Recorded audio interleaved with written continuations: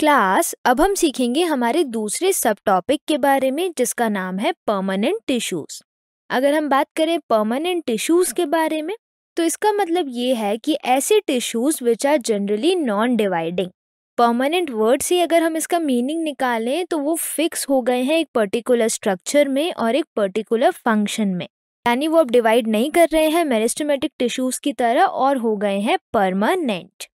अगर हम यहाँ पर बात करें तो यहाँ पर एक क्वेश्चन आता है what role does meristematic tissues plays in formation of permanent tissues क्या आप सोच सकते हैं कि जो मेरिस्टोमेटिक टिश्यू है, वो किस टाइप का इंपॉर्टेंट फ़ंक्शन या रोल प्ले कर रहा है परमानेंट टिश्यूज को बनाने में?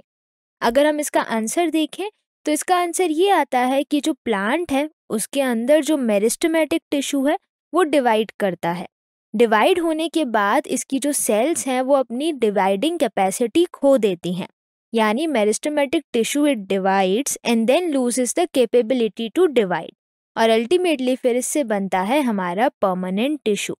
तो जो परमानेंट टिश्यू आया है, वो मेरिस्टमेटिक टिश्यू से ही आया है, जब मेरिस्टमेटिक टिश्यू ने अपनी डिवाइडिंग कैपेसिटी को खो दिया। इसके बाद अगर हम बात करें परमानेंट टिश्यूज के बारे में तो परमानेंट टिश्यूज दो तरीके के होते हैं। एक होता है सिंपल परमानेंट टिश्यू जिसमें हम बात करते हैं सिंगल टाइप्स ऑफ़ सेल्स की, यानी ऐसा परमानेंट टिश्यू जो कि सिंगल टाइप्स ऑफ़ सेल से मिलके बना हुआ है और वो एक सिंपल सा फ़ंक्शन परफॉर्म कर रहे हैं।